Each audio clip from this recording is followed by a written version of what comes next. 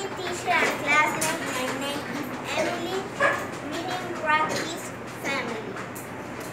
Families do more, ma- many things together. Family help each other. Family talk with each other. Family eat together. Family have fun together. Thank you.